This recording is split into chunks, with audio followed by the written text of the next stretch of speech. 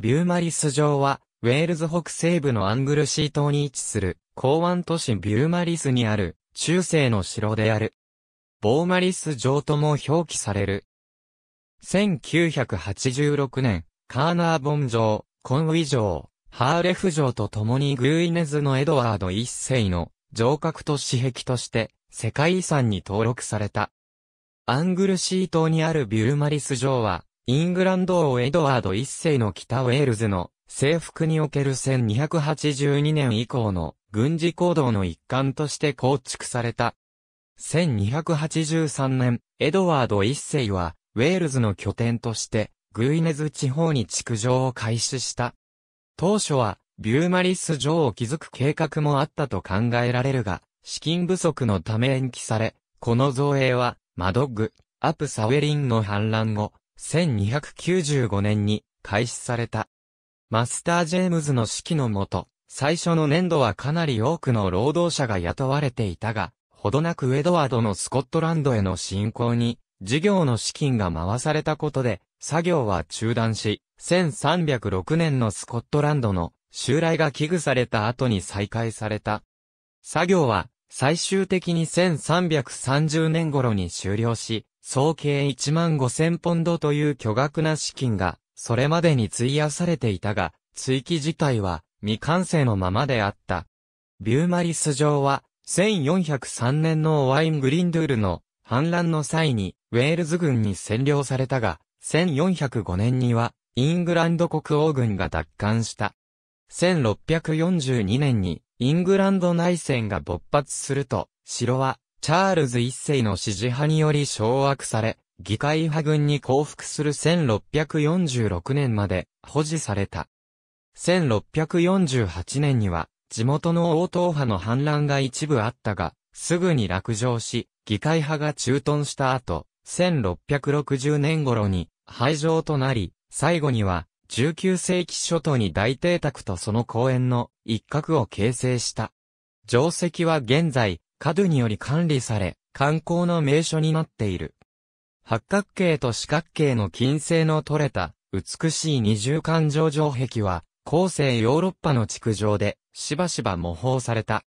歴史家のアーノルド・テイラーは、ビューマリス城をイギリスの対照的な同心円形の最高の例と評している。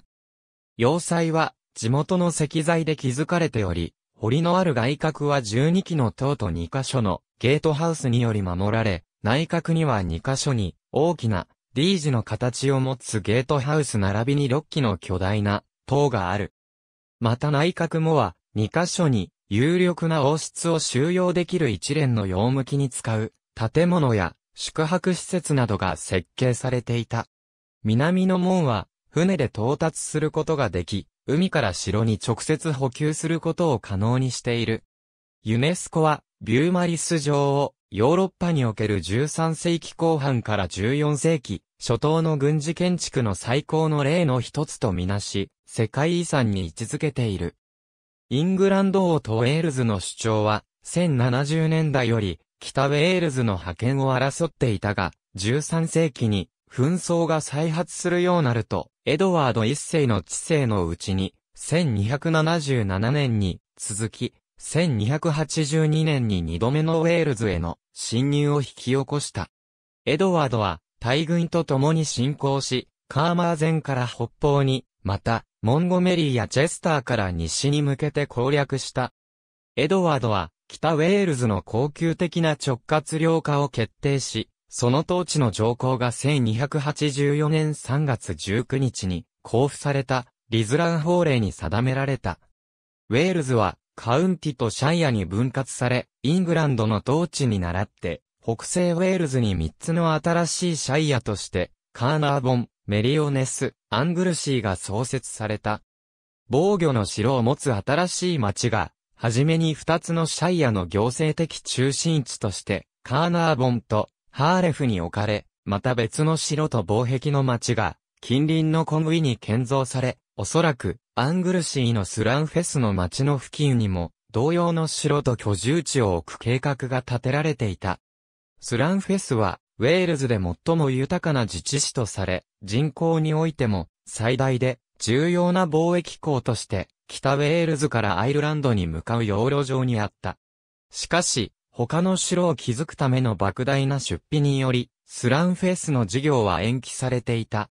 水堀を巡らした外角の北西壁1294年、マドッグ、アプサウェリンが、イングランド支配への反抗を起こした。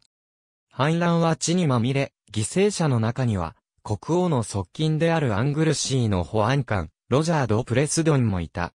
エドワードは冬以降、1295年3月に反乱を鎮圧したが、4月に一時アングルシーが再占領されると、直ちにその地域を固めるために支援した計画に着手し始めた。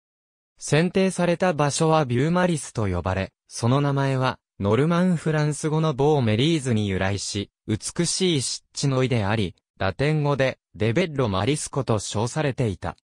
ここはスランフェスから約1マイルであったため、スランフェスのウェールズ住民を南西約12マイル移動させる決定がなされたことから、そこにニューボローという名前の入植地が創設された。地元、ウェールズ人の強制移動は、強固な城により防御され、繁栄するイングランドの町の構築に向けての道を開いた。城は町の一角に配置され、コンブイの町と同様の市街計画によるが、ビューマリスにおいてはいくつかの基礎が置かれたにもかかわらず、当初、町の防壁は建設されなかった。1295年の夏、ビューマリス城は、マスター・ジェームズの監督のもと着工された。ジェームズは、ウェールズにおける王の仕業のマスターに任命され、ジェームズは責任を担って、エドワードの城の建造と設計に携わった。1295年には、ビューマリスが、ジェームズの一義的責務となると、重ねて、マジスター・オペラシーオーナムでベッロ・マリスコの称号が与えられた。その仕事は、中世の王室経費の継続的記録である、パイプロールにかなり詳細に記録されており、そのため、ビューマリスの造営の初期段階は、その時代において比較的よくわかっている。南側のゲートハウスに通じる入り口最初の夏に大規模な作業がなされ、平均1800人の妊婦、450人の石膏、375人の石切りが現場にいた。これには週に約270ポンドが費やされ、事業は急速に滞り、担当官は労働者に、通常の貨幣で支払う代わりに、川の代用貨幣の発行を余儀なくされた。秋までには6000ポンドが消費されていた。城の中心部は冬にかけて労働者を収容する仮設の小屋で溢れていた。次の春、ジェームズは雇い主に、いくつかの問題及びそれに伴う多額の費用について説明した。一週間でこれほど多額の資金がどこに行くのか不思議に思われるといけないので、貴殿に知ってもらいたい。我々が必要なものからそれは切断と赤重の両方で石膏400人、加えて、非熟練作業者2000人、荷車100台、ワゴン60台、それに、石材や石炭粉を運ぶ、ボート30隻、採石婦200人、鍛冶屋30人、また寝太や床板を施すほか必須の仕事をする大工が引き続き必要です。すべてこれには中東の物資の調達は何も計上していません。その中でかなりの割合が必要となるでしょう。男らの賃金は今もなお非常に延滞しており、彼らには生きる糧が何もないことから、我々は彼らを維持するのに最大の困難を抱えています。建設は1296年のうちに遅延したが、債務は増え続け、そして次の年にはさらに作業が減り、1300年には完全に中断し、その時までに約1万1000ポンドが費やされていた。中断は主にスコットランドにおけるエドワードの新しい戦争によるものであり、それへの注力及び財源が消費され始めたことで、城は部分的にしか完成しないまま放置された。その内壁や塔においては、あるべき高さのものは、ほんのわずかであり、北並びに、北西側は完全に外防備を書いていた。1306年、エドワードは、北ウェールズへのスコットランドの侵攻が起こり得ることを危惧したが、未完の城はすでに修繕できないぐらいの状態に陥っていた。外側の防備を完成させる作業が再開され、はじめに、ジェームズの指揮のもと、その後、ジェームズが1309年に亡くなると、マスター、ニコラス・レダーンファードが引き継いだ。一方、エドワード一世は1307年7月に、スコットランドへの進軍中に亡くなり、このエドワード二世に引き継がれ、その後1327年1月に廃位すると、エドワード3世が14歳で即位したが、それを機に、スコットランドが北、イングランドに侵攻し、1328年には、エディンバラのオサンプトン条約が締結された。ビューマリス城の作業は、1330年を最後に中止され、城はまだ計画の高さには構築されないまま、事業の終了までに1万5000ポンドという莫大な額がその期間に費やされていた。1343年の王室調査では、城の完成には少なくとも、さらに684ポンド必要であろうとされたが、これが出資されることはなかった。城と隣接する防壁の街を描いた1610年のジョン・スピードの地図1400年、北ウェールズにおいて、オワイン・グリンドゥールが率いるイングランド支配への反乱が勃発した。ビューマリス城は包囲され、1403年に反乱軍に攻略されるも、1405年には国王軍が奪還している。城は補修されずに荒廃するままとなり、1534年にローランド・ド・ベルビルがビューマリス城の城代になった時には、ほとんどの部屋は水濡れしていた。1539年の報告によれば、そこはわずか8ないし10丁の小銃と40丁の弓だけの備蓄により防御されていたと訴えており、城の新しい城代のリチャード・バークリーは、予想されるスコットランドの攻撃に対する要塞の防御としては、全く不十分であると結論付けている。状態は悪化し、1609年には、城は完全崩壊に分類された。イングランド内戦は、1642年に、チャールズ一世の王党派支持者と議会の支持者の間で勃発した。ビューマリス城は、アイルランドにある国王の拠点とイングランドの作戦本部間の経路の一部を支配し、戦いにおいて戦略的な位置にあった。数世紀にわたりその一家が城の管理に関わっているトマス・バークリーは国王のためにビューマリスを支え、その防御の強化におよそ3000ポンドを費やしたとも言われる。しかし、1646年には議会派が国王軍を破り、6月14日に議会軍のマイトン少将に対して降伏し、城は王党派リチャード・バークリー大佐により明け渡された。アングルシーは、1648年に、再び議会に対して、反乱を起こし、一時ビューマリスは、応答派勢力が、再び占拠したが、その年の10月には二度目の降伏に至ることとなった。戦いの後、多くの城が廃城され、軍事的使用を経て放置されるままに損傷したが、議会はスコットランドからの応答派の侵入の脅威などを懸念し、ビューマリス城は容赦された。ジョン・ジョーンズ大佐が城の総督となり、駐屯地が城内に年間費1703ポンドで設定された。その後、チャールズ2世が1660年に王位に返り咲き、バークリー家を城の城代に復帰させた際、ビューマリスは、その高価な鉛や残った資材を屋根などから剥ぎ取られた。ものとみられる。第7代、バークリー子爵トマス・バークリーは、1807年に、王家から城を735ポンドで買い取り、地元の邸宅である、バロンヒルを囲む公園に組み入れた。それまでに、北ウェールズの城は、ツタの絡まる意向をロマンティックに捉えた画家や旅行者が、訪れる興味深い場所となった。その近辺にある他の城跡ほど有名ではないが、この一連の城の一つとして構築されたビューマリスには、1832年に、将来の女王ビクトリアが13歳の時に、アイステズボッド祭りに訪れており、1835年には、J.M.W. ターナーにより描かれた。この城の石材のいくらかは、1829年に、近くのビューマリス刑務所の建設のために、再利用されたと考えられる。1925年、リチャード・ウィリアムズ・バークリーは自由保有権を保持し、城を作業委員会の管理のもとに置き、その後、大規模な修復計画を実施して、草木を取り除き、堀を掘り起こし、石造物を修理した。1950年に、城は当局により、ウェールズの優れた、エドワード時代の中世の城の一つとして、指定建造物一級に指定された。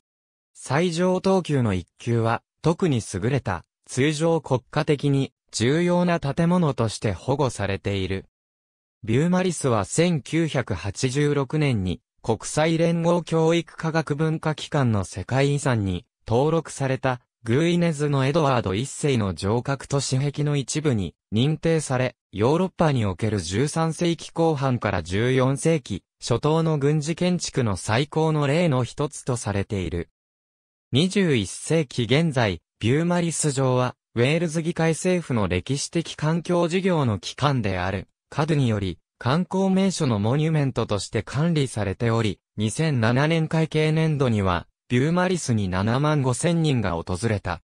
城は、継続的な保全、修理が必要であり、その2002年会計年度の費用として、5万8千ポンド余りを要している。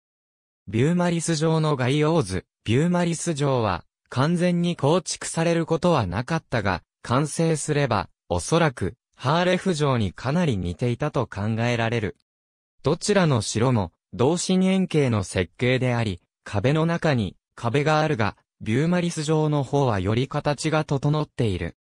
歴史家、アーノルド・テイラーは、ビューマリス城をイギリスの対照的な同心円形の最高の例としており、長年この城は、エドワード一世の治世内における軍事工学の頂点とみなされた。この進展的解釈は、今日、歴史家の争点にもなり、ボーマリス城は、まさしく防御要塞であると同時に、王宮であり、イングランドの権力の象徴でもあったとされる。そうしたことに関わらず、この城はユネスコより、特徴的な13世紀の二重幕壁構造と、中心設計を組み合わせた、様式、並びにその、比率と石積みの指差から、類のない芸術的功績と称賛されている。ビューマリス城は、現地の海岸線を形成する氷生堆積物や、その他堆積物上の海水面近くに建設され、城石から10マイル以内の地元アングル市の石材で構築されており、例えば、天文の石灰岩の採石場から一部の石材が海岸沿いに船で運ばれた。石材は石灰岩、砂岩、結晶片岩の根高であり、壁や塔にかなり無作為に使用されているが、結晶片岩の使用は1298年に、建造作業が中断した後に中止され、結果として壁の低い層に限定された。海に近い門城の設計は、内角と外角を形成し、ついで幅5.5メートルの水堀に囲まれるが、今日は部分的に埋まる。城の表口は海に最も近い門で、城の潮汐によるドックに隣接し、満潮時に海より直接補給することができた。ドックは、後にガナーズウォークと名付けられた壁並びに中世、時代の工場兵器のトレビューシェットを収めたとされる、発射台により防御されていた。海に近い門は、羽橋、矢様、殺人港で防備された外側のバービカンに入る、外角に通じていた。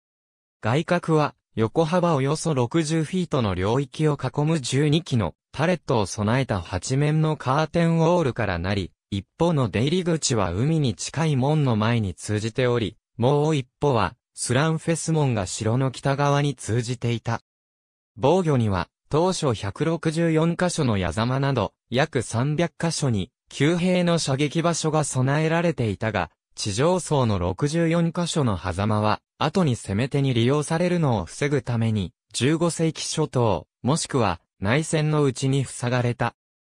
ビューマリス城の内角にある未完成の北側ゲートハウス、及びそれに相当するハーレフ城のほぼ完成したゲートハウス四角形の内角の壁は外角の壁よりもかなり堅固であり、高さ36フィート、厚さ15.5フィートで、四角の端にある4基の円筒と、東西2基の D 字型の塔及び、南北2箇所の大きなゲートハウスとともに、0.3ヘクタールの領域を囲んでいた。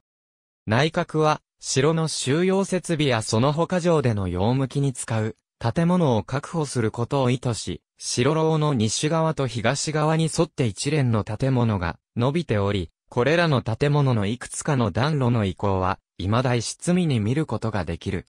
これらの領域は、実のところずっと建設されていたのか、あるいはそれらは建設された後、内戦後に取り壊されたのか定かではない。完成したとすれば、城は、多分、2箇所に、有力な王室とその従者、例えば王と女王、もしくは、王、女王と王子、並びに、自身の妻を受け入れることが可能であった。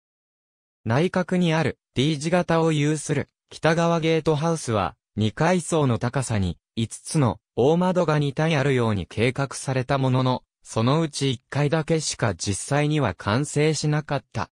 おそらくその1階には約70フィート ×25 フィートにわたる大広間などがあり、暖房のために離れた暖炉が2箇所に分かれてあった。南側ゲートハウスは北側にあるものを模写するように計画されていたが、建築作業は1330年に最終段階となるかなり前から全く進んでいなかった。一室見の一部はおそらくその後、ゲートハウスから取り去られ、その高さはさらにより低くなっている。内角の壁には広い一階通路などがあり、それらはカーナーボン状とよく似ている。これらは、城の構成員が、塔の間を移動し、衛兵詰め所、寝室、また城のトイレに行ける経路となることを目的としていた。トイレは、堀からの水を使う、専用の装置により排水されるよう設計されていたが、その系統は、実際にはうまく機能しなかったようである。6機の塔は3階建て高さになるよう計画され、暖炉などがあった。城のチャペルが一機の塔に組み込まれており、そこは、木内はじめ美しい部屋であったとも言われ、広範な守備隊ではなく、王や王の家族に使われたものと考えられる。ビューマリス状の同心円形の設計は、外幕壁が城の内角より完全に見渡せるように構築された。ありがとうございます。